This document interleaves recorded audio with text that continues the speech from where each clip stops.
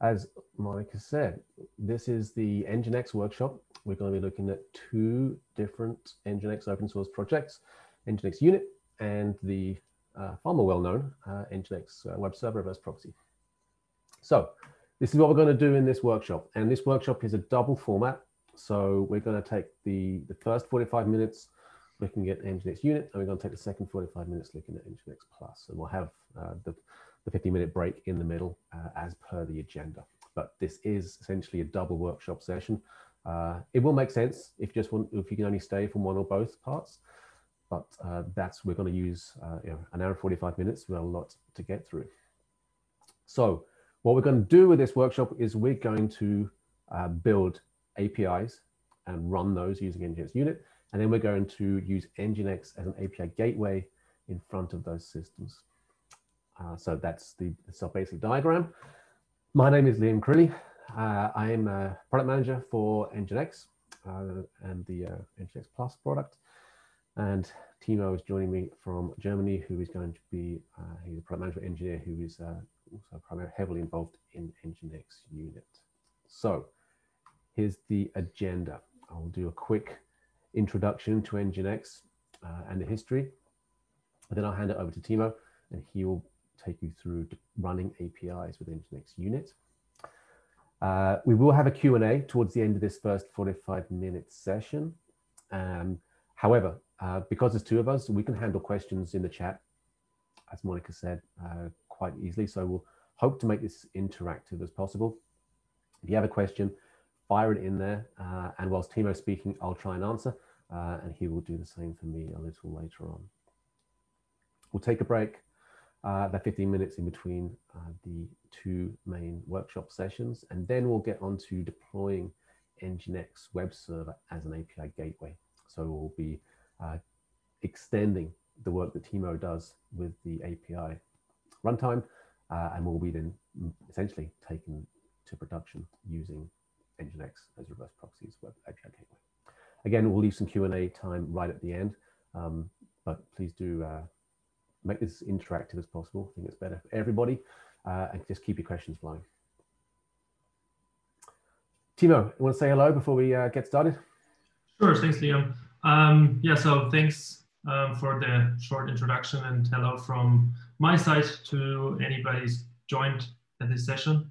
Um, yes, Liam said just one more word about it. It's a workshop. It's not like uh, something we we get talking for the next one hour, 45 minutes. Uh, so if you have questions, feel free to ask and um, I'll put a lot of stuff in my, my demo. We do a lot of interactive things um, to make it as interesting as possible. So looking forward to it. Thanks, Timo. Okay, so let's start off just with a quick introduction to Nginx. Um, now, actually, before I start, or as I start, um, let me make sure I can see my chat window here. There it is. So, Nginx started, well, uh, uh, quite a quite a while ago now with with one guy, Igor Sysoev, uh, who was working at the time as a uh, a sysadmin, really, or a, web admin. Probably these days you'd call him a site reliability engineer, uh, SRE. And he was running the Apache web servers for a Russian internet portal service, kind of like Yahoo of the day, uh, called Rambler. And he was, uh, that was a web portal in Russia. And the Apache servers at the time, the internet was going you know, through one of its huge periods of explosive growth. And the Apache web servers just couldn't handle the amount of traffic and it was causing Igor real headaches. And so he set out to solve that. Basically, how could he handle more concurrent connections with a single server? Uh, at the time, there was a, a computer science problem called the C10K problem, how to handle 10,000 concurrent connections on a single server hardware box. Uh, so Igor took a slightly different approach, or a very different approach to the way that Apache was implemented at the time, and came up with Nginx, uh, which blew away his original goal and was able to cope with huge loads uh, by using uh, an event loop and asynchronous architecture at the heart of Nginx. So Nginx is a very popular open source project. Just to get a sense, if everyone in on the session could go in the chat and send a message to panelists and attendees and just type yes or no if you have heard of Nginx or used Nginx in the past. It will, it will be helpful later for when we go through the workshop side. Cool, seeing some answers. Fantastic. Keep them coming. Oh, lots of yeses. All right, fantastic. So we've heard of it. Let's do something interesting with it. Now, just to bring you kind of up to date. So that original open source release was back in 2004, a while ago now, but it took another three years. This was a side project for Igor, uh, you know, from his day job. Uh, he thought it was viable, in his own words, uh, three years later, 2007. And then another three years passed before we actually went from 0.9 to 1.0.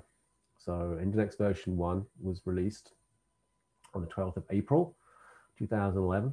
Uh, and from there, we started to see uh, you know, really tremendous growth. And uh, uh, the documentation site had been translated to English by then, so that was helping uh, grow adoption. Uh, now, fast forward to 2018, Nginx Unit is released. And sorry, Timo will speak to this in more detail. Uh, but it was also released on the 12th of April, uh, which is the International Day of Human Spaceflight. As uh, Igor Sysoev is uh, quite a space fan. So that kind of brings us up to date. Uh, I haven't extended the timeline to this year because I think we'd all rather forget this year ever happened. So let's just leave it at 2019, where Nginx is hugely popular, running um, the majority of the websites on the internet. And Nginx Unit is now emerging as uh, a next generation application server. So with that, let's get into the workshop content and I will hand it over to Timo and uh, Timo will pick up the presenting and I will go on mute and look out for questions. Speak to you later. Thanks, Liam. So I go ahead and continue, share. So I move the chat window a little bit out of the way. Um, yes, so as I said, um, we'll do a little bit of a of an Nginx unit walkthrough. Um, go ahead and talk about the basic concept of unit, what it is, how to configure, how to install. Um, yeah, then we'll build three different um, small JavaScript-based APIs and deploy them on an AWS EC2 instance via the ECR container registry. Um, so what we're going to build in this, in this step is this, this box at the very right of this picture. Um, we will we'll go ahead and create um, three different APIs um, hosted on Nginx Unit in a Docker container, um, and that, that will publish this APIs to um, AWS.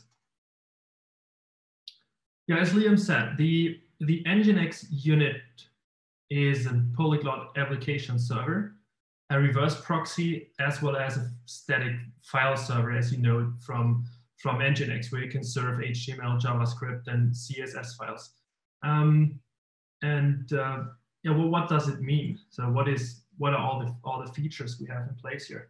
Um, so the most important thing is that Igor's vision about how to run an, a next generation web server at, at the time he started with Nginx open source um, was the same, still the same vision when he started to yeah, create this Nginx unit application server or when, when he started to, to develop this. And so that means everything that was in the, in the core of Nginx at this point was put into the unit project as well. So all the ideas, all the visions, all the concepts about performance, security, simplicity, it's, it's all part of Nginx unit as well. And I'll go ahead and share a couple of um, insights about the architecture, the system architecture um, from unit. Let me just go ahead and click my stopwatch here. I'll make sure I stay in time. Um, so let's let's talk a little bit more about what, what it means by flexible. So flexible means that the, the Nginx unit application server is fully configurable via an uh, REST API. So you can send the configuration to the unit app server just by curling an, a specific HTTP endpoint and sending the API in a JSON format. So this is this is definitely um, a, a, big change uh, instead of the of the Nginx configuration you know from from today. And yeah, so at the moment we support eight different languages, starting from assembly, Go, Java, um, JavaScript. Is something we'll see today. PHP, Perl, Python, and Ruby. They act a little bit different. It's, it's depending on the way we are we can implement um, the language features. Um, but I'll go ahead and, and, share this in a minute with you. Um, so what about the security features? I mean, security is, is all around the place, especially when it comes to cloud architecture. Um, security is a, is a key figure um, at this time. So we have a couple of options where we can secure our application stack um, by hosting them on Unit. One is that we can put TLS certificates or SSL certificates into Unit and configure them dynamically. So we can send and update and change certificates on the fly without reloading any processes. And can, or what we can achieve with this is that we can enforce an encryption on the transport layer um, to our applications. So this is a, this is very easy to configure, and uh, I can show you this if, if we have time after the workshop. Um, and another or a couple of another security features at this point um, are that the client connections or the, the, the, the, processes where we handle our client connections for each application are isolated. Um, we'll see this in an example here.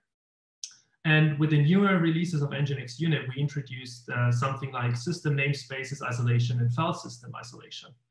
Um, and about the performance, as I said, this is the same vision, the same ideas from Nginx is now in Nginx Unit. So it's the it's the same approach. We're doing asynchronously.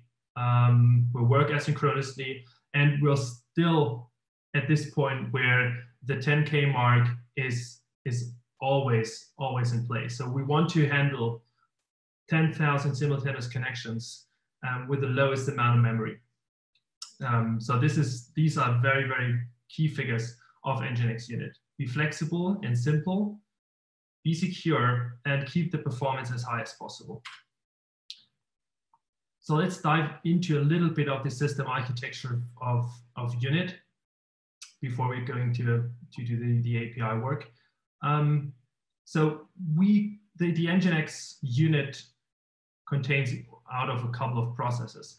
One is the controller and the main process and then the router process and a couple of worker threads or the application processes. The controller process, as you can see on, on top here, is our configuration endpoint where we can send our configuration to. The main process is sending the configuration to, yeah, to, to the instance and, and uh, doing the, the main work. And the router process is a very interesting thing, but let's dive into this a little bit later. Um, I said, the controller process takes care of about our configuration. And by default, the controller process um, will listen on a Unix socket, but you can change this if really needed to be an, an port. So then you can send your, your JSON configuration to a port instead of a socket. It's well documented on the website um, unit.nginx.org, so feel free to check it out. Per default, it is a Unix socket. So any configuration change you send to the controller process will be checked by the controller. And in case it's valid, it will send to the main process to get processed and uh, to reconfigure the instance. The router process here um, is, is interesting because the router process is the more or less your the, the process taking care of the HTTP connections from the client side. The controller process takes care of the connections from our side, from the sysadmin side for the configuration changes. And the router process is the exposed process if you want to take care of the, of the client connections from the outside world. And it contains a main thread and a couple of worker threads depending on how many applications uh, you have configured. But we'll see this in our workshop. I have a demo where you can see how that how that looks like. Um, but the router process is a very important thing to know about that all the client connections, everything we send from the client side to unit will be handled by the router process. Um, and that enables us to configure some, some routing policies, we call them matchers, um, on unit. And this is something I'll go ahead and see in a minute. So this is how that works. So we have a client connection and request to the router process. Um, and then we configure two different applications. And as we encapsulate uh, like the language modules um, in unit modules, most of them, in that case PHP, we can run, for example, PHP 5, PHP 7, Node.js or JavaScript and Ruby applications all on the same instance. And um, Unit can dynamically make use of them um, and of the underlying system architecture to configure or route, yeah, to configure the application and route the traffic to the to the right applications at the time it's it's it's requested. So that means the polyglot application server, we can use Unit to host our supported languages, eight of them, on the same unit instance, on the same system, without having another main unit process up and running. So the main unit process will take care of all eight different languages. And this is an, a Go example, but this is kind of the same logic than for um, Node.js. It's the left part is, your, is the yeah the out of the box way if you want. So let's rewrite this here on the fly to to Node.js. Um, I mean, Node.js brings an, an own HTTP server if you want with it. Uh, we could use, but the way of the so the implementation, how Node.js implemented the HTTP server and how our unit router process in our modules implemented the HTTP server is at this point very different. Um, the Node.js one is mostly written in JavaScript and our HTTP processor is uh, written mostly in C. And with, yeah, with the router process we have here, we have a lot of flexibility. We can configure the route matchers, we can configure a lot of different things.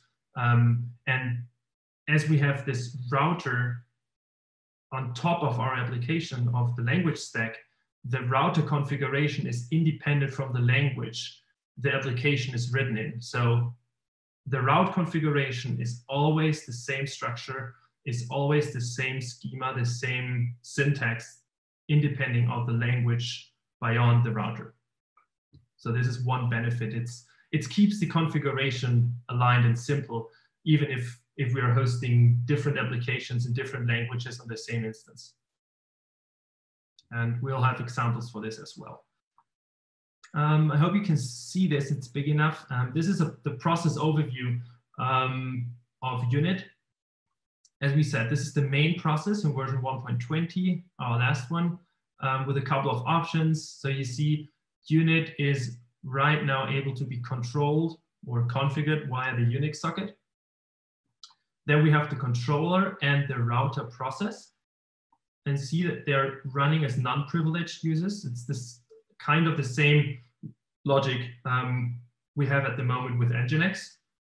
We have a main process that's running as privileged user, root in that case, and then we have all the other processes running under non-privileged user. Uh, what you can see here is that we have this WordPress uh, user. Um, so that means what we can do, we can create a run user on our in, in the container or on a VM or an EC2 instance wherever we, we install unit and can make use of this run user in the unit configuration. So that means unit can create a process um, controlled or run by a, by a specific user, in that case, WordPress. Um, so we have an application WordPress, we have app one and two, and we have a Django Python uh, project running a one unit instance. This is our demo here. So how to install or where you can get your Nginx unit from. Um, yeah, you can use CentOS Red Hat, Ubuntu Debian-based systems, Docker, uh, or Mac OS on your MacBook, iMac locally. Um, so I have a little asterisk here because um, what I've not put on this slide, but it's it's it's required to do so, um, is you you have to configure the Nginx unit repository on your system before you can you can jump install app, get install app, install whatever. Um, it's documented on the website, and I'll go ahead and paste the link to the repository configuration in the chat um, right at the point I'm done with my uh, with my part. Um, so you'll you'll have it definitely right after right after my talk here. Um, yeah, after you you configured your your environment and the repository is available, uh, you can simply go ahead and yum install unit. And the unit is the core module of Nginx unit. And then we have a couple of language modules like for PHP or for Go, for Ruby, Python. Um, and this is something you can install alongside with Unit. So installing Unit as a core, and then depending on the language module, um, you can go ahead and install PHP, Ruby, Python, Go. Um, for JavaScript, it's different. That's why I picked this as an example here, um, because it's, it's better to do this a little bit more interactively. Um, yeah, the same for Ubuntu or Debian-based systems. And if you if you're familiar with Docker and if if you if you would like to get started um, without yeah installing or configuring anything on your system, uh, you can use Docker as well. Um, I personally prefer the Docker approach um, because there is a base image called unit version at the moment. It's 1.20.0 at the, at the point we're talking. Um, it, it may be different in a couple of months. Um, so update the, uh, yeah, the number, the release number if needed. Um, and then use the dash full version of it. And this will include all the language modules we're currently supporting. Um, so this is maybe a good starting point to play a little bit or hack a little bit around uh, with unit, use the Nginx unit full Docker image. All right, so let's talk a little bit about the configuration. So what that's the next step. So we installed it, we pulled the Docker image, we can type docker run, have a unit container up and running. And the next step is the configuration of unit. So how we can bring an application inside of unit. As I said, it's all dynamically configured with an API. Um, so what we can do is we can write a JSON file um, containing our configuration. And basically at the beginning, we have two different parts. We have the certificate section and the config section on the, on the root level, if you want to say. Certificates is like the placeholder for all our TLS certificates we can use in our listeners. And the config holds a couple of other, other configuration objects. So this is, as you see, all the all the, the paths uh, are printed here in the headline. So at the moment, we are in localhost slash config. If you notice here, that was just localhost. Um, so as it is all JSON based and uh, real objects, you can you can dive into another section by just adding the object key at the end of your URL. So that means localhost slash config slash listeners will bring you all the listeners slash routes will bring you all routes. And uh, yeah, same approach for the for the other um, objects here. Um, so settings are inter-instance wide or unit wide configuration settings. The listener is the is the, the, the main entry door to your unit server where you can say you bind an IP address at a specific port to the outside world where you can accept connections. Um, this is something we'll see in the demo. Um, we'll not go ahead and talk about the routes and the matchers because this is a very complex um, topic. I have two examples in the next two slides where I will explain a little bit how they how they works or how they work. Um, but these are the, the routes I've talked about earlier, and they will control the behavior of our unit router.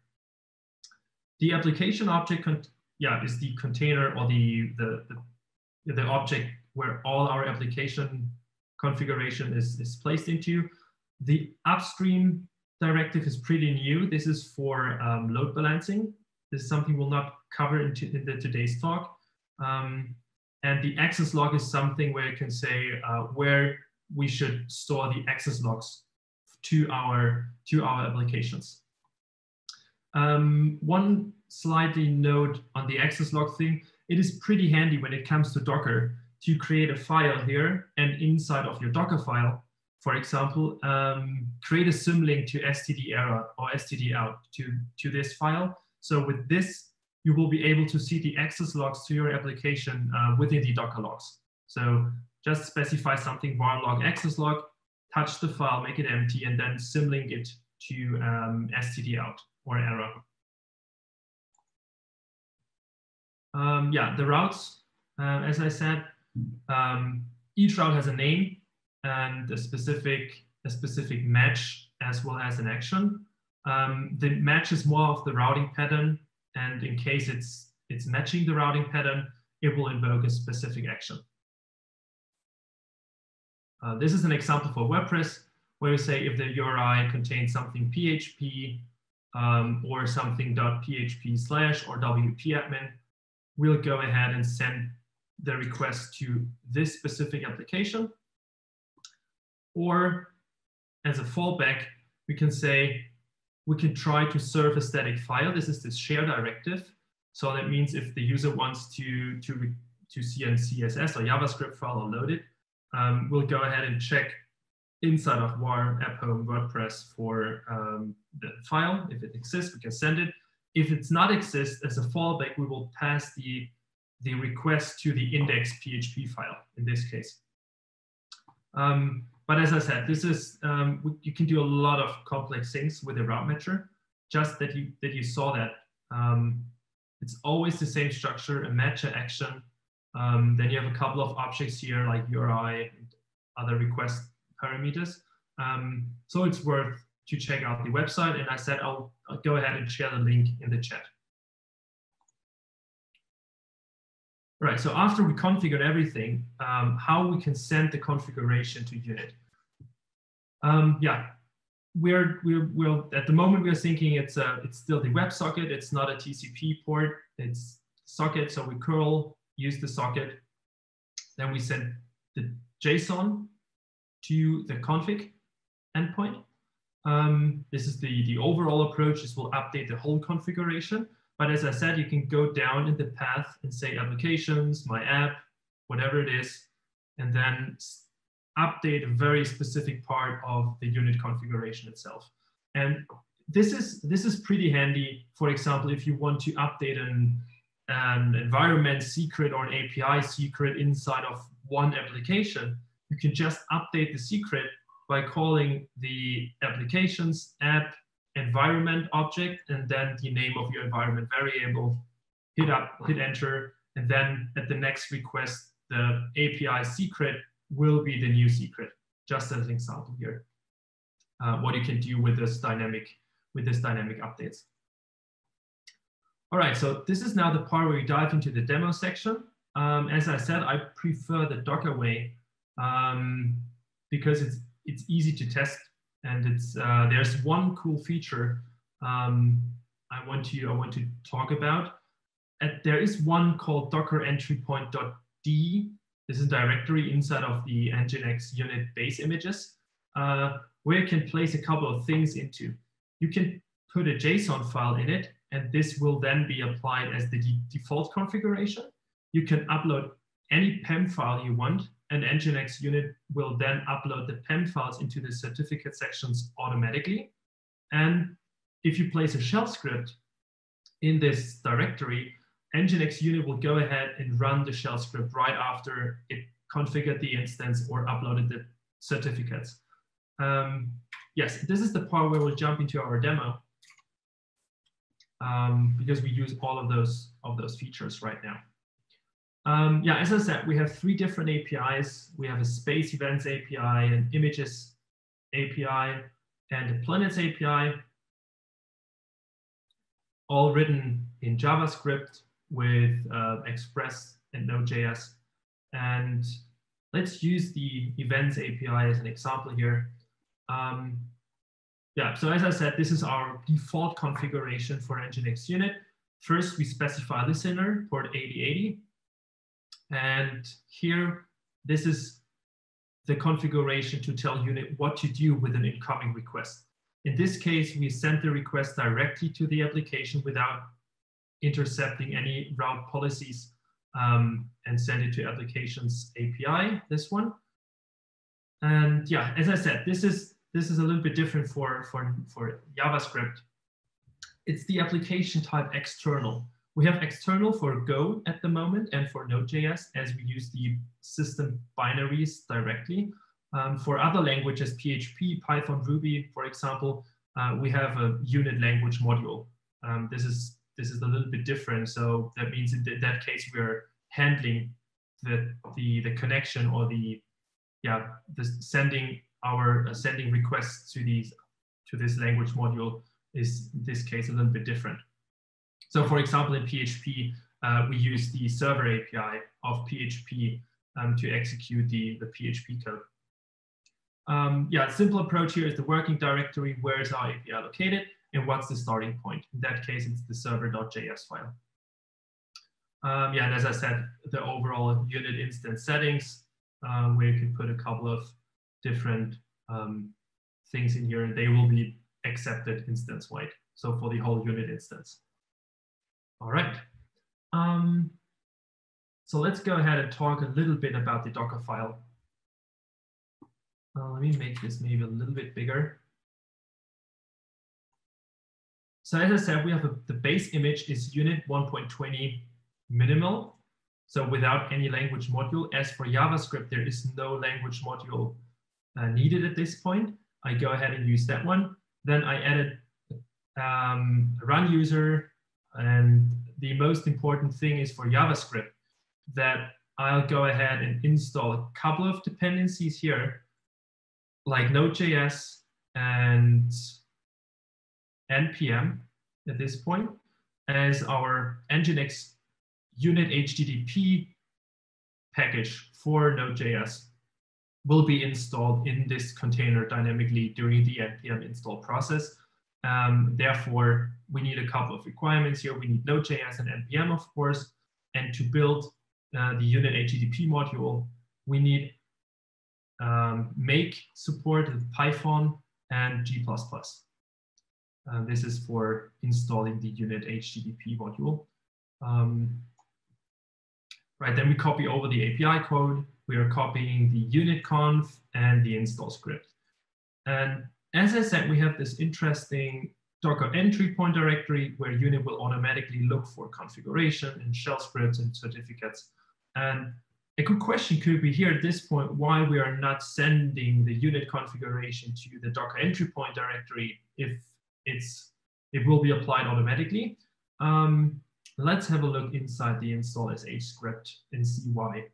Um, yeah, as I said, the unit way of handling Node.js applications is by changing the HTTP module, if you want, created by Node.js to something that's created or hosted by unit.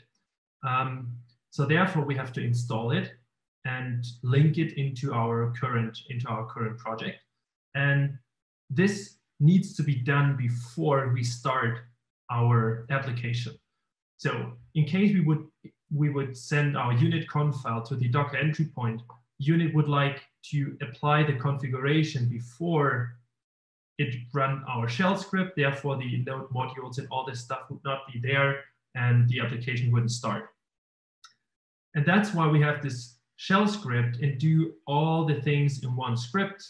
We're installing npm, the dependencies, we are linking the unit HTTP module, and then at the end, we're configuring our Nginx unit instance by applying uh, the configuration. So this is our install sh script that will be run by unit right after um, it started. All right, so um, so this is basically just a, a, a, small, a small JavaScript project. The most interesting part here is the server.js file.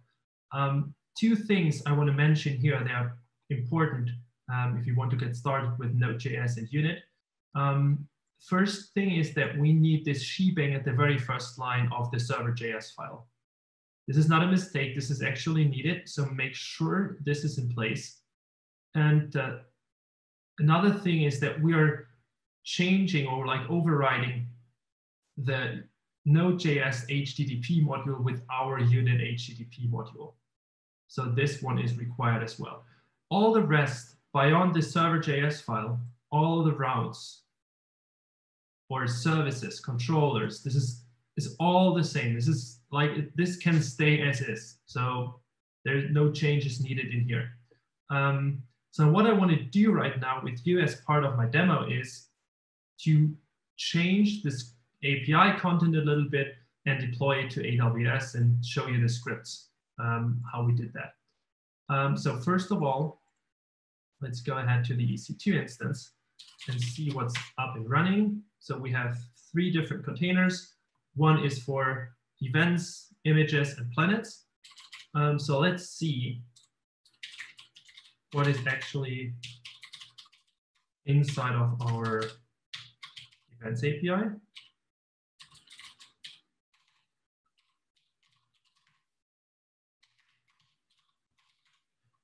All right, so as we see, there's one event named data text Mars behind the moon. And now we'll go ahead and put a second event into our API and publish it or send it to AWS. It's all about preparation. So I have a text file here. Go ahead and change that a little bit.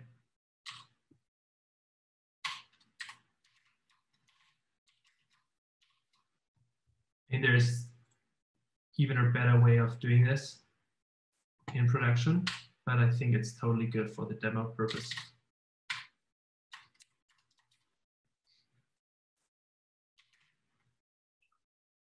Right, then we put some, we put some text in here.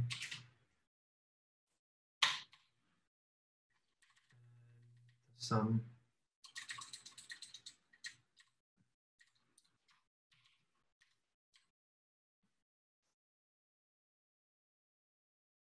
image URL. Okay, so this looks good now.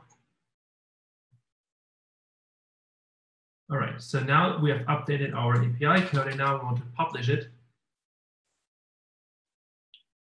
So what we're going to do here is we have some scripts. There's one, there's one build script. Um, and this is something I really like to do at the beginning of a project. Um, so what we want to do is we want to push our images or build our image and push it to our AWS container registry. So we have a little build script here that's building all, all our Docker images and sending them to, to the ECR, to the ECR. Okay, so this is push all.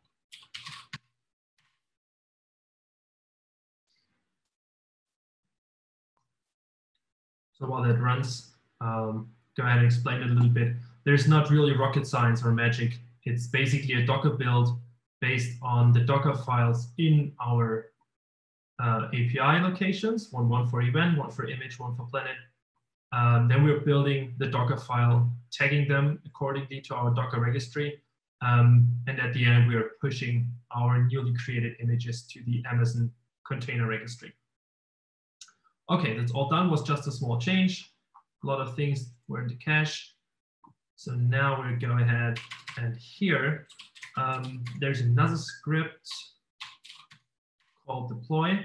Um, and it's doing basically the exact same thing. It's logging into the AWS Elastic Container Registry. Um, we're pulling newly created images and we are restarting our services. That's all the magic. So we do deploy, we're logging in, see the events API was changed. We downloaded the layer that was changed. And then let's see.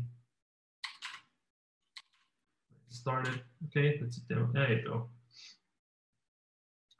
All right, so event number two is now published biggest full moon over the year um, with the text.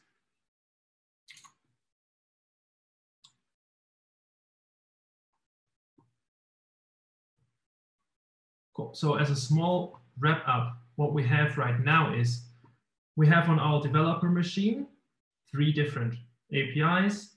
We have changed one API, but all the others working the same way. Um, we have scripts in place that can push our changes to Amazon Elastic Container Registry. And then we have another script running on EC2, pulling the containers with unit, running unit, and exposing ports on the EC2 instance. And this is something I'll go ahead and show you because this is important for Liam's session. So we have port 8085 and 8090 and 8080 on our EC2 instance, one port for each service. And yeah, next step at this point will be to configure our API gateway to make our APIs exposable, securely exposable to the, to the outside world. And at this point, I'm pretty sure we at the we're at the Q&A part. Um, and after that, we will do the 15 minutes, 15 minutes break. All right.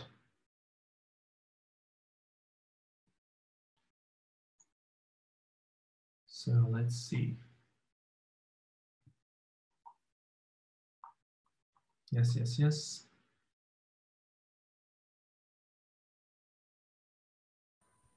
All right, so, so I think I answered all the questions as we went along, um, but now is a great time to get into anything maybe in a bit more depth if anyone has any, any mm-hmm. questions about what this is all about, um, you know, why doing it this way is better than maybe the way you're doing it. So yeah, feel free. All right, so um,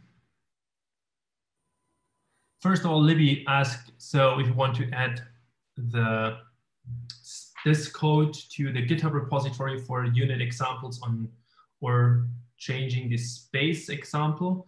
Um, yeah, I'll go ahead and reconfigure or, or, restructure this a little bit, and I'll definitely go ahead and upload the whole structure I've showed you here um, to GitHub. And there is a an unit example repository inside of the Nginx project. Um, and I'll go ahead and share the link right after um, this or during the break. No worries. Um, then there's another question from Ryan. Um, is the unit piece used in conjunction with Nginx? It's almost like a runtime inside of Nginx. Um, so the Nginx unit is a completely separate product and project um, at, at this point. So you can use Nginx unit and Nginx open source or web server reverse proxy um, in the combination, but there is no really, a, so you can launch an API, for example, um, just with Nginx unit as well, using uh, the capabilities we just saw. There is no need of having an Nginx in front of it. At this point, it in some it makes sort it, might, it makes sense in some sort, and this is something we will see right after the break. Um, but technically, there is you can serve the, the API static files and everything just with Nginx unit. There's no need of having an Nginx in front of it technically.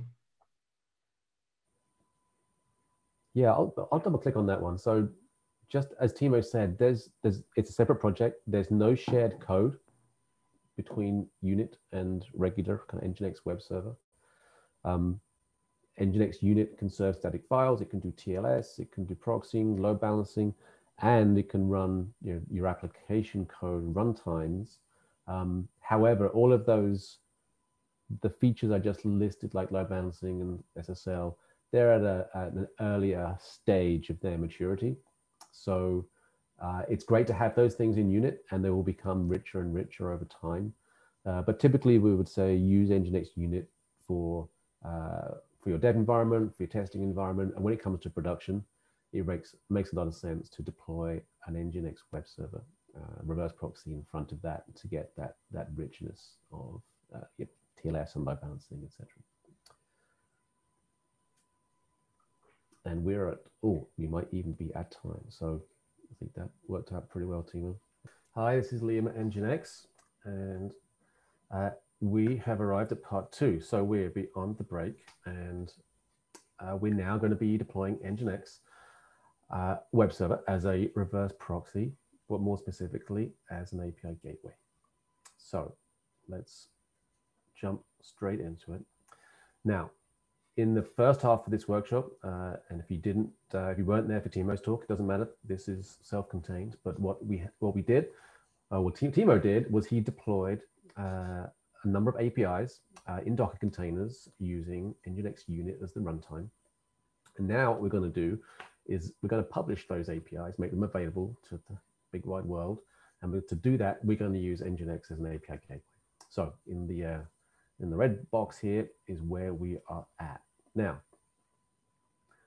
Nginx is most commonly known as a web server, as I mentioned, or a reverse proxy, and sometimes also a load balancer, and sometimes also a content cache, uh, and many other things for driving HTTP traffic or even uh, layer 4 TCP and UDP traffic. But uh, what's that got to do with an API gateway?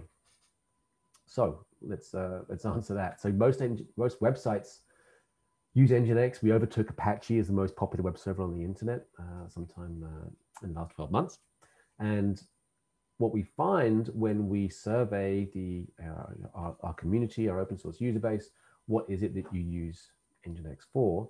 It's all the things I just mentioned, but API Gateway is one of the most popular use cases that we come across. And often it's an API Gateway as well as being a load balancer as well as being a web server or a reverse proxy. Uh, and that's part of what I'm going to focus here in on this workshop is uh, how you can manage Nginx as an API gateway, show you some best practice configuration, uh, and I'm going to do a lot of this stuff live. I'm going to do it from scratch. And to do it from scratch, I'm going to need to install Nginx. Now, the way that I'm going to do this is I'm going to install uh, Nginx using the official repository that is hosted at nginx.org. Uh, and this link here will sort of explain how to do that. That's not usually necessary. Uh, it's great to get the, uh, the curated builds by the Nginx team, but you can also get from all of your favorite, uh, you know, either from Docker, the official uh, Nginx image, or from your, your uh, operating system. package manager will have Nginx just there. So you can do yum install, apt install, uh, usually when you do that, however, you're going to pull down the, uh, the stable branch. And we like putting new features into the mainline branch. So there are two, and it's often for those, uh, when, I, when I this at the start of the other session, uh, Nginx is, is widely used. And one of the things that I come across when I'm speaking to folks is that uh, they don't know whether to use the mainline or the stable version. And as the operating system vendors tend to provide only the stable version, I thought I'd just uh, explain that before we go any further. So mainline is this outer red, sorry, red, it's green, uh, outer green uh, circle. And what happens is that it, we run our versioning on an odd and an even number. So one dot odd dot something is our mainline branch, and one dot even dot something is our stable. So 1.18.0 is the current stable, 1.19.3 is the current mainline. Now mainline gets updated uh, every four to six weeks, eight to 12 times a year uh, as where new features become available. But stable is, uh, is stable. And the reason I, that sounds dumb is because uh, it's stable in terms of its features. It's not a description of the quality of the software. So when we put a feature into mainline, it's ready for prime time, it's ready for GA, uh, and in, indeed uh, the commercial offerings of Nginx uh, use the mainline branch for that. Now every year, around about April time, we retire the stable branch, and we'll stop updating it, and then we fork mainline. And so sometime during April or May, the current stable version of Nginx is actually the newest version of Nginx available. So just as a, uh, a reminder that it's not about uh, the quality of the software, it's just about whether you're going to see features in that branch. So we fork mainline, stable gets a bump, so it will become the next even number. So April 2021 will have uh, 1.20.0. At the same time, we bump the version of mainline and we keep adding features and we keep releasing. And the only time that we'll update the stable branch, so currently 118.0, we would do a 118.1 if there was a critical bug fix or a security vulnerability, that kind of thing. Uh, we'll never change the functionality of stable throughout the year, but every year it inherits all of the new features from the previous year. So choose whichever one uh, makes most sense for you. Uh, I'm going to go ahead and uh, jump. I'm going to be jumping between the slides and my terminal. Uh, so I'm logged in to the API Gateway uh, virtual machine on AWS, which is the environment that Timo's uh, got prepared. And at the moment, Nginx is not installed. So I'm going to um, just do this as root and I'm going to install Nginx. Now I have uh, configured this machine uh, with the Nginx official repo, and it's in this file. In this is an Ubuntu machine, so it's uh, in sources.list, and here we just specify uh, that for Nginx, I'm going to pull it from uh, the nginx.org package repository, so that when I do an Nginx install, so an apt install Nginx, it's going to pull that from the official repository. Uh, I could pull the source code and compile it, um, but when you pull the packages, you know that you're getting something that was built by the same Nginx team that wrote the code, and it's super easy. So that's now installed, and if I do uh, nginx-v, uh, we do indeed have the very latest version, 1.19.3. And if I change to uh, etc. Nginx, you will notice throughout this workshop that my typing will be the least reliable thing of all. Uh, and we don't have a great, so this is interesting. Where are all my files, Liam? I don't seem to have an Nginx conf. So what I'm going to do is probably try and do this again. Um, this is what you get when you uh, do a reset before a demo. All right, so let's, ah, I took a backup. I was clever. All right, not that clever. Um,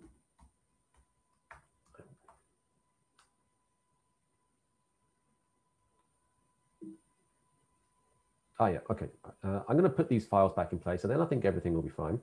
Um, so let's drop them in here. Before I do that, so bear with me for 90 seconds while I fix my mess up. Conf.d is empty. All right. Um, so let's do that. And then let's copy the backup I made from Nginx uh, to here. I've got my files back. And if I go in conf.d, all right, don't need those.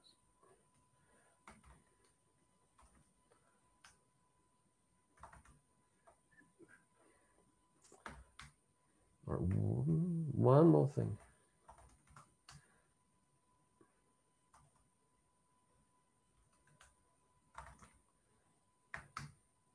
Okay, thank you for bearing with me.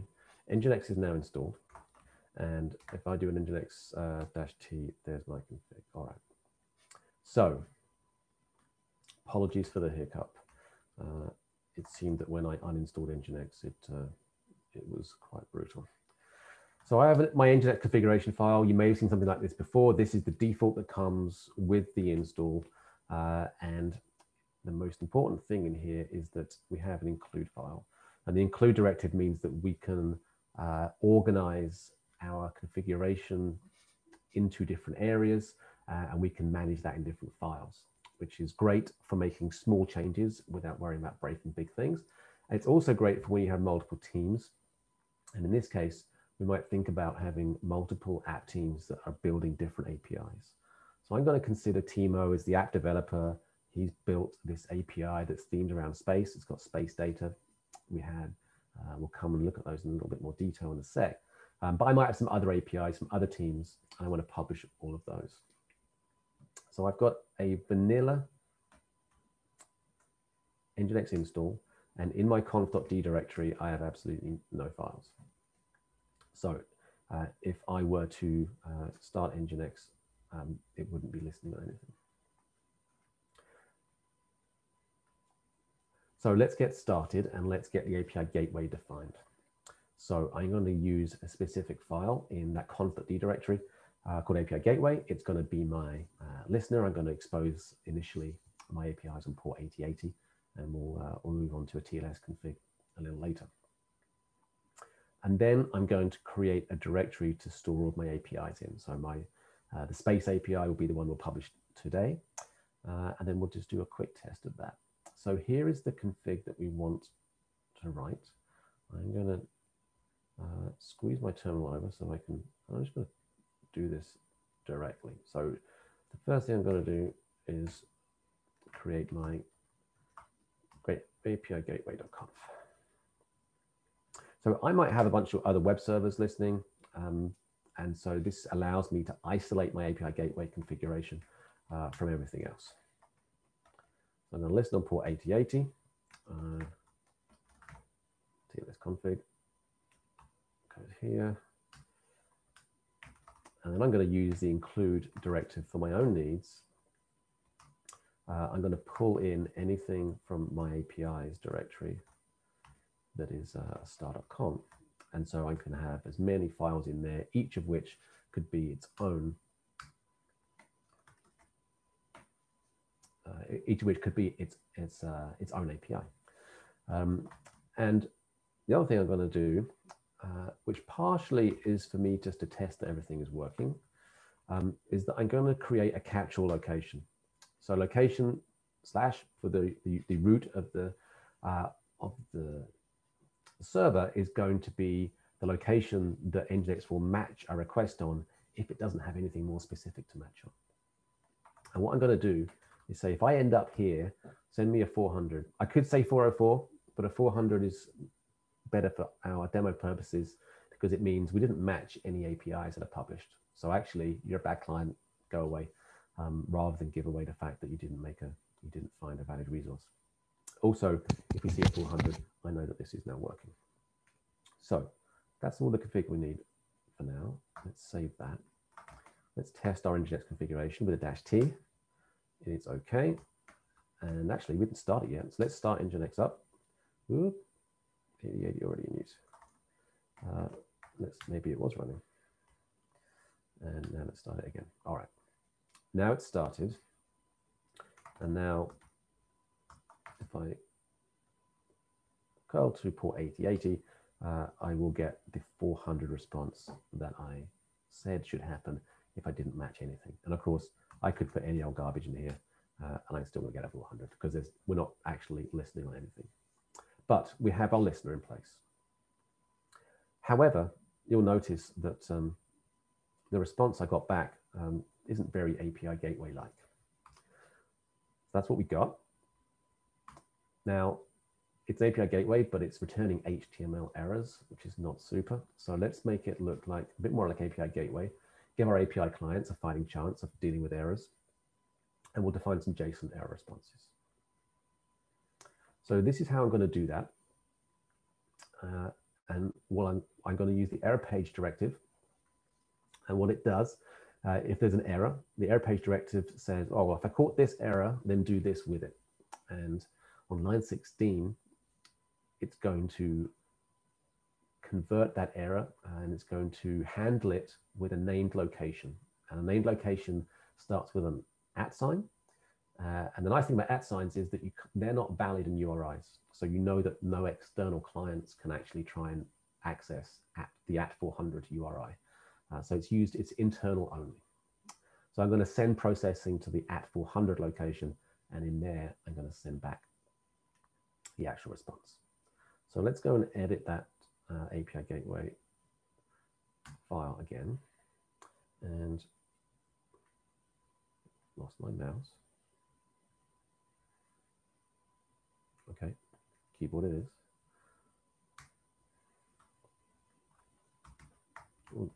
Uh, so error handling, let's do this. First of all, we're going to have a default type. So we'll send back, uh, if we don't know what type it is, we'll send back application JSON. And then we're going to say, if we get a 400, uh, then return it as a 400 and we'll use the 400 at 400 location to handle it. So here is the location itself. And we're going to return the 400 code, but now we're going to send back some JSON saying status is 400 and the message is bad request. Close that, close that. Uh, let's put a new line in at the end to make it a little bit nicer. There we go. Now,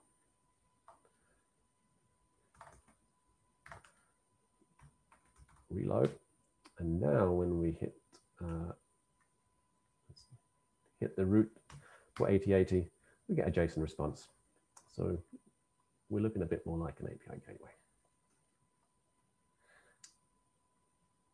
Now, that's great for a 400, but what about the rest uh, of all the errors that are available? So uh, for that, I do have uh, a file, and there's a, I do have them on my GitHub, so we'll share these with everybody later. And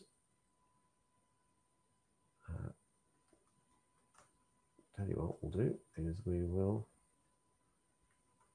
go take a look, shall we? Right, so here we are. There's 400. That's the first one we did. And now I've got all the error codes that we might reasonably expect to receive uh, from a, uh, a backend or indeed from a client. So let's just grab the raw version of that, copy it, and I'll go back to my So I, didn't, I'm going to create this directory for where I'm going to put uh, my APIs and we'll have the file, make sure I get the file name right. Uh, it doesn't matter, I can just call it errors.json. Doesn't actually matter as long as it ends in a .conf. Boom, there it is.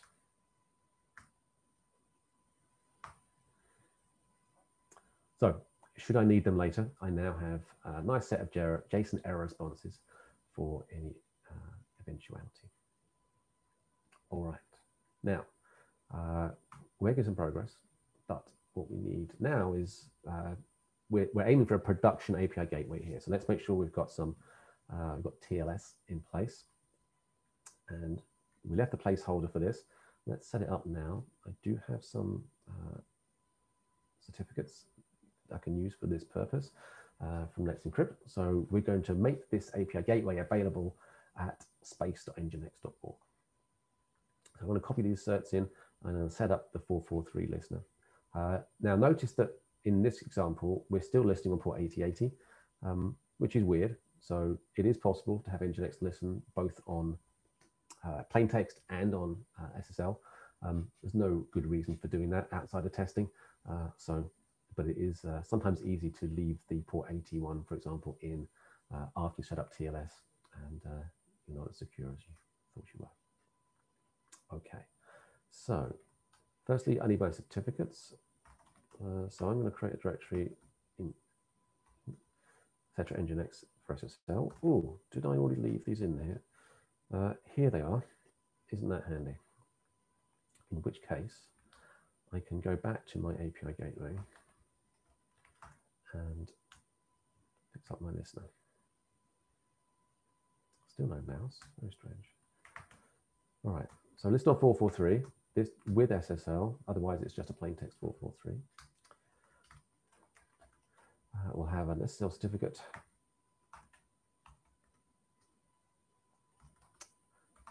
space.nginx.org cert and then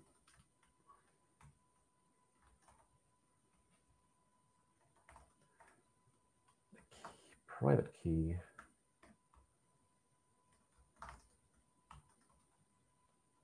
space to nginx.org.key. Boom. Okay.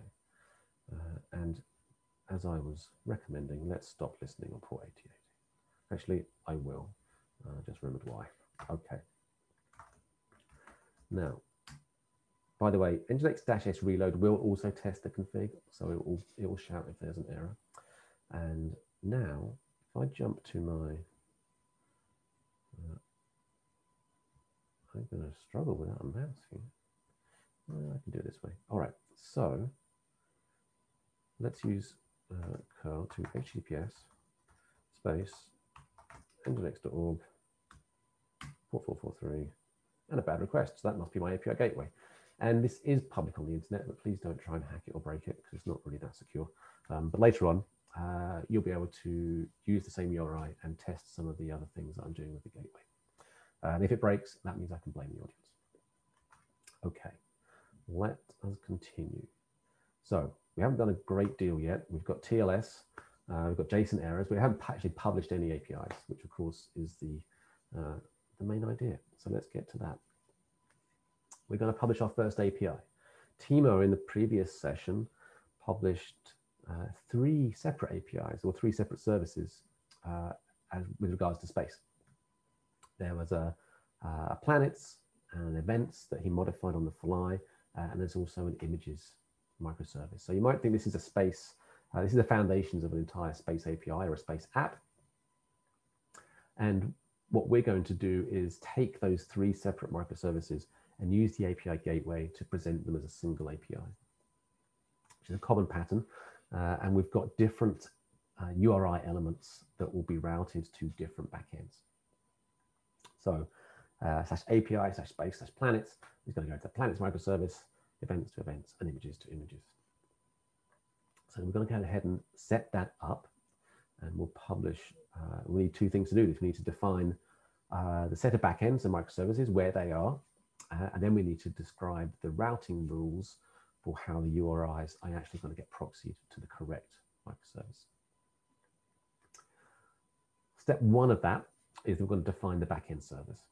And I think I will uh, spare you looking at my typing uh, by pasting in this configuration here. So you may remember from Timo's session that he exposed uh, three different Docker containers on three different ports, uh, 8080 planets, 8085 for events, and 8090 for images. So they're encapsulated here. And uh, if I flip back to the, I think PowerPoint has robbed me of my mouse pointer. So I'm doing an awful lot of keyboardy stuff. Let's make sure this goes okay. So I'm going to put this in a separate file. And again, uh, I'm going to use a lot of use of different files that get automatically included by Nginx. Uh, there's not a hell of a lot of config that's going to go in here, uh, but it is good best practice to isolate different elements of the configuration into different files so that you can modify them independently. And there we are. So I pasted it in. We've got three different upstream blocks. Each of these can have multiple server elements. We've just got one container for each right now. But if you were to add more, you would then, Nginx would automatically start load balancing between them for every matching request. Uh, however, if we were to do that uh, in production, we would really want to define a shared memory zone so that each Nginx worker process is aware of any uh, errors detected, for example, uh, by a different worker process that had tried to reach the backend. So that in that doing it that way, you don't get uh, Nginx trying more than once to reach a failed backend. Uh, so all we need to do to enable that is to allocate a very small amount of memory, like 64 kilobytes, uh, to a shared memory zone like that. But I won't, uh, as we only have one, it really doesn't make a difference for this configuration, but production best practice, use the zone directive. Uh, oops, I think I screwed that up. All right. Um, that is the backends. I got my mouse back. Horrific. Now, let's define the API. And we're going to do this using uh, an unusual piece of configuration. We saw the location block earlier where we defined the catch-all, and this is how we match on URIs. And so we're going to create a location for slash API slash space because everything that we're exposing in this API is uh, below that URI prefix. But then we're going to be more specific and we're going to use a location block inside a location block to catch individual URIs and then we can proxy them to different places. Uh, so there's two great reasons for using nested locations. Number one is that it makes it very easy to describe a routing policy for uh, inside a URI prefix namespace. We can have a default and we can also have uh, overrides. And we can be very explicit about which URIs are actually permitted and which are not. So we'll only proxy things to backend services that match a precise location. The other reason for using nested locations is that within the outer location block, we can put in policies and we'll do some of that in just a minute. Uh, and in that way, we just define the policies for this API one time. And if we want to be more specific, we can do so inside the inner locations. So I'm going to go ahead and set this up right now. Um, so open this uh, as a separate file, my APIs, and we're going to call it space.conf. Here it is. Um, so I'll type in some of this and I'll paste in the rest. And Nginx has three different ways of matching on URIs. In this default location slash API slash space, anything that starts with that pattern will match here. Uh, but if I use the equals qualifier, then only the exact uh, only the exact URI I specify here will match. So this will be slash API slash space slash planets. We're going to proxy pass to the planets service. And then we're going to be add another URI to say, if you, it's API slash space slash planets slash something, so no qualifier, so it's a prefix match, then we'll also proxy pass to the same one. Now, why would I do that when I could just have a prefix? Well, if you have a, an API that you're, you're publishing, um, you might not want to send requests to it that start with API space planets 111111, right? That, that's not actually part of my API.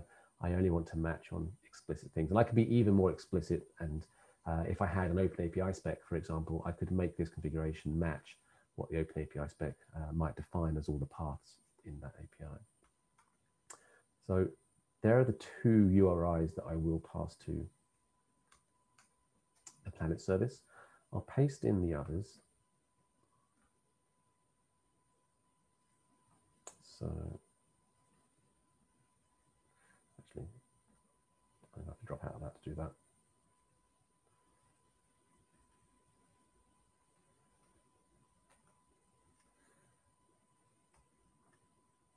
There. So just to uh, show what's going on here, the tilde is the qualifier for regular expression. So here we have anything starting API space images and then ending with .svg or PNG will match. Anything ending JPEG, which might exist at the back end that we don't want to expose JPEGs, won't match. And then finally, uh, we're going to match anything that starts with slash events to the event service. So here's our routing. And I'm going to need leave uh, I'm going to leave a little white space at the top uh, because later on we're going to come put some policies in here. Okay, let's save that and save that and check I didn't have any typos and now reload the configuration. So this time, let's make some actual API calls. So I can still get uh, here locally on localhost, API space planets. Excellent. That's quite big, isn't it? Uh, let's make that a little prettier. There we go. Uh, and if I were to choose a specific planet, there we go. But if I were to say planets, that doesn't match any of the locations I set up. Uh, and so we're going to send a 404 back. Notice a 404, not a 400. I thought we had 400s for the catch-all. Well, that's true, except that in our uh, in our uh, outer location, we're matching here on API space anything. But because we didn't match anything in the inner locations, we did the Nginx default behavior and we sent a 404. So this tells us that, okay, I've hit an API that's published, but it's not a valid URI for that, uh, that particular API. If I were to put something like some bogus characters in here, I'm going to get the 400 because that doesn't match any of the APIs. So the API is published now, and I could also show that if I uh, show the regular expression match, if I go to localhost, um, I've got a, a dummy image service here. So that was API space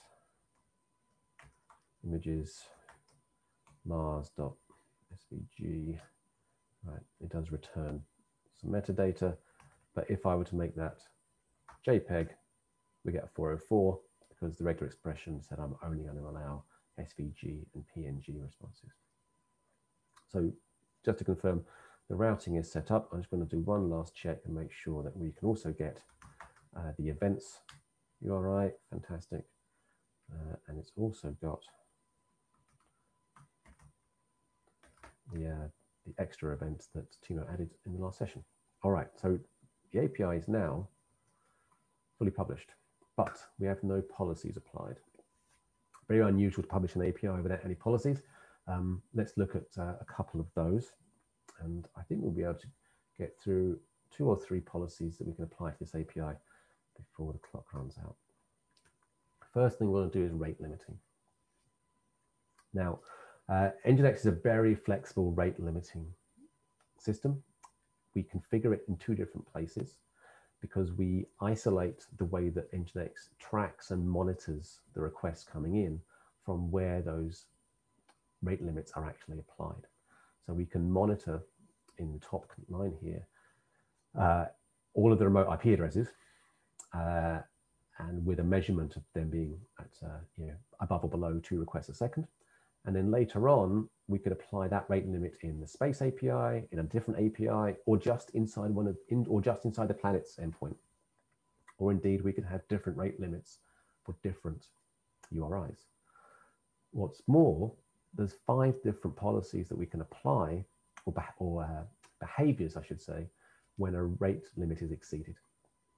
What we're going to do here is uh, not delay. The default is to throttle requests, hold them back until the rate limit can be uh, achieved. Um, but for our purposes, we're going to just reject them flat out. There's a couple of other tweaks we can do, like allow a few over before we start limiting. So let's set that up. Now, uh, again, we do that in two different places. So let me get my mouse back.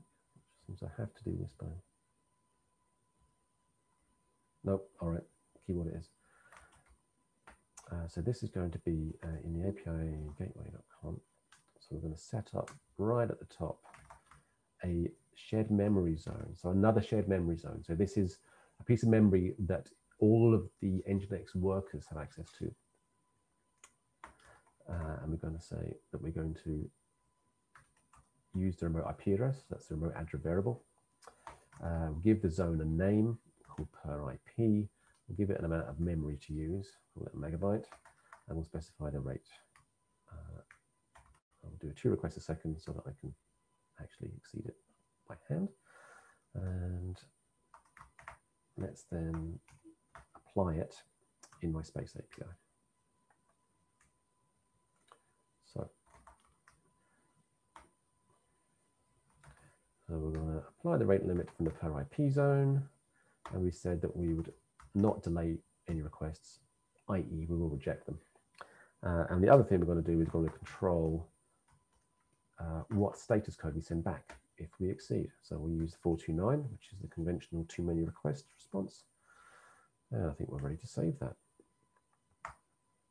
And save that as well. Test the typos and reload. And now uh, what shall we use? So let's go to localhost, AT API space, planets, Mars. There we go. And I'll just make that uh, pretty so that we can see it nicely. And now let's run three in a row. Excellent. So the first one worked. And then of course, because they came from the same IP address, uh, the next two hit the rate limit. We got the code we asked for, and there's the message from our errors file that I used earlier. Rate limiting enabled. Fantastic. Now, let's see if we can also add authentication. Quite unusual that APIs are published uh, fully public.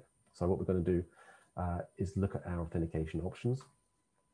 We have we have a good choice of authentication options, and that's handy because APIs uh, don't have a, a, standard. It could be many different things that we could use. We can use uh, client certificate authentication with X509 certs. We can use HTTP basic authentication with a username and password. We can use in, uh, maybe not all things open, uh, we can use API keys by setting them up in a separate file. And we can also use an external authentication server. For example, OAuth tokens can be introspected by asking the identity provider, hey, I just got this token, please let me know if it's still valid. So for the purposes of, uh, uh, yeah, for the purposes of this demo, I'm going to use HTTP basic authentication, but I'm going to use it as if it were used for API keys. And again, we're going to apply this policy under the API space namespace. So all of the URIs that we match on will require authentication. I, if I were to use another different method, I might use auth JWT or auth request to make uh, HTTP calls. Um, the exception is for client certificates because that's part of the TLS handshake. So that actually happens at the API gateway level, not at the URI level. So let's see if we can get this done. Um, I do already have a file, so I'm going to grab that. It's just got three uh, API keys in it. Oops, I'll try and copy paste this. Where's my browser gone? Here we go. Here's the file. It's got client one, client two, client three, and I've just got some plain text keys in here.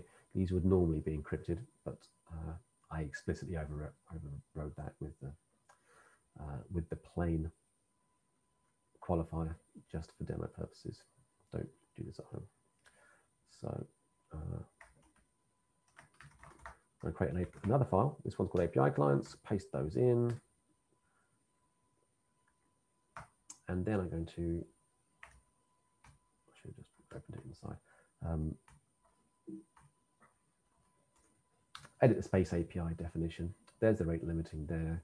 Uh, actually, put it at the top.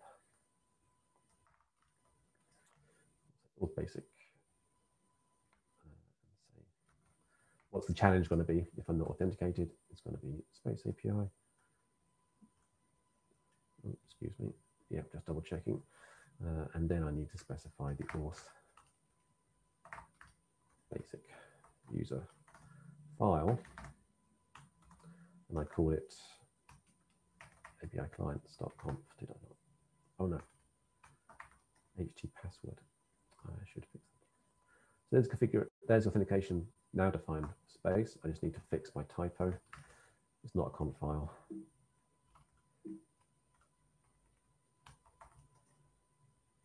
htpasswd file in Apache style. Now, let's go and hit that uh, Mars endpoint, and I'm getting a 401 unauthorized, which is exactly what we expected because uh, I need to send a username and password now. So let's have a look at that, is API clients. And we'll use curl to send this in. So I'm going to say I'm, I'm client one and my password is that. And now I get the response.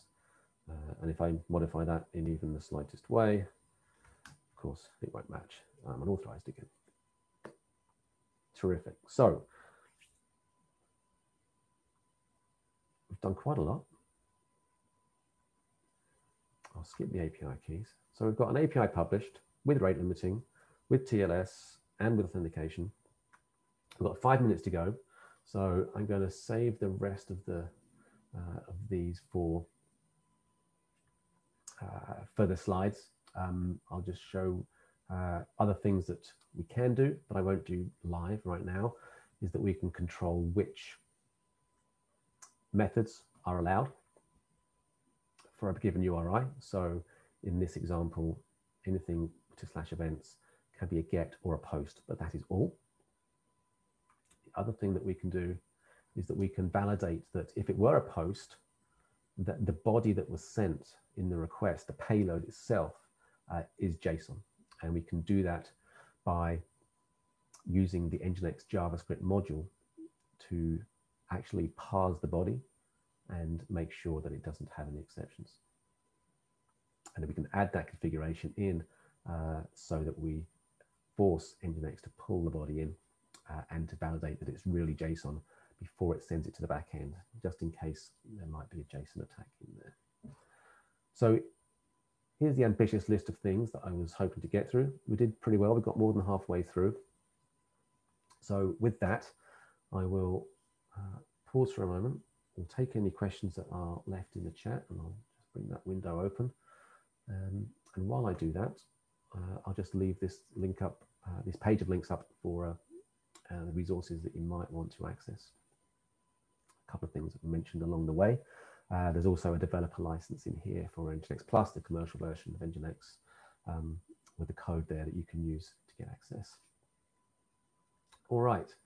Uh, Brian, thanks. Yes. Um, so what I'll do before we share this deck out with all things open is I'll we'll add in the, uh, the repo links uh, to Timo's code and to my configs I used just now.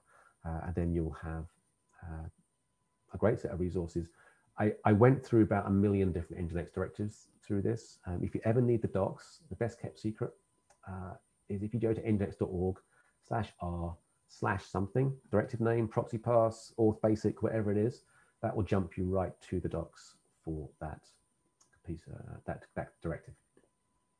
We've also got some good stuff on our uh, on our website.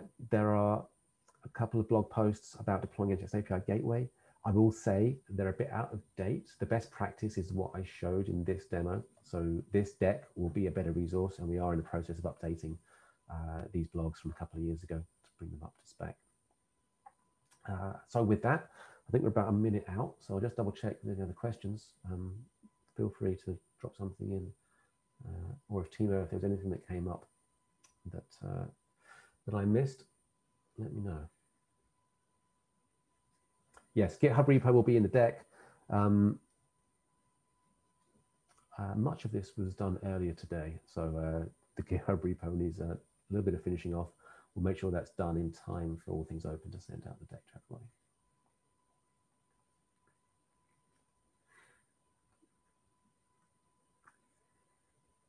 Ryan, yes, method matching is here. So line 20, uh, you can require, uh, limit except means I'll uh, block everything apart from the listed methods. So you can indeed do that. So you might add limit except get to all the regular URIs. Alrighty. Okay, uh, one thing, I think we have a virtual booth um, around the conference. So I go ahead and check with our, yeah, with our persons hosting the booth um, if there's any chance of, of being around for, let's say, the next 30 minutes or so. So if you have questions, I think you can go and ask them in the booth as well. And that's, they should, they should find us the questions and we'll happy to answer. Yes, great, Timo. Thanks. We're about out of time. So yeah, so benefits over Spring Cloud Gateway and Spring Boot. Um, basically, you're using Nginx. It's actually used by most of the API Gateway vendors anyway. Uh, so you, you're getting to use, uh, you get the most best performance by using Nginx in this way for your APIs. But we can go into more detail in the booth. So I don't want to overrun. Thanks everyone for, uh, uh for staying on and um, hope you enjoy the workshop.